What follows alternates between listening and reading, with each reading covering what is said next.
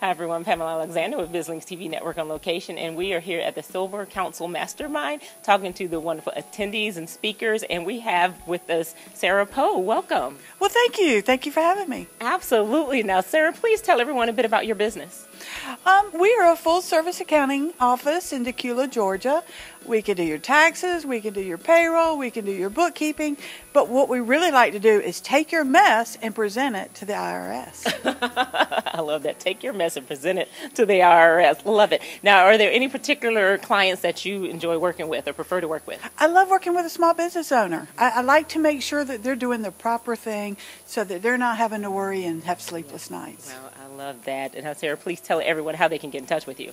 Well, you can contact me uh, through Poe's Accounting Services on the web, or my phone number is 770 545 8841.